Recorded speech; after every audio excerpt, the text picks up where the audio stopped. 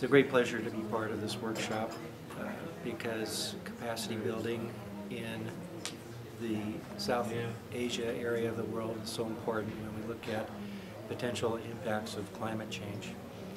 So the MyCOE SERVIR Himalaya workshop was designed to uh, look at the impacts of climate change on sustainability issues in the countries of South Asia.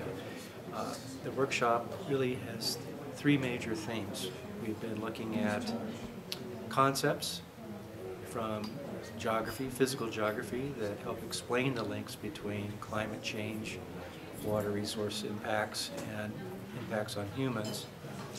We've been looking at training the students with geospatial tools, GIS, remote sensing models that help to quantify, measure, and map the impacts of climate change on glaciers, snow, land cover, agriculture. And third, we've been training the students in professional development skills, how to present a talk, how to write a proposal, how to explain your research to a stranger if you're in an elevator for only 30 seconds. And all of this has happened in uh, one week. We are going into the field to see some demonstration projects uh, on the weekend, and then next week we will resume for two more days.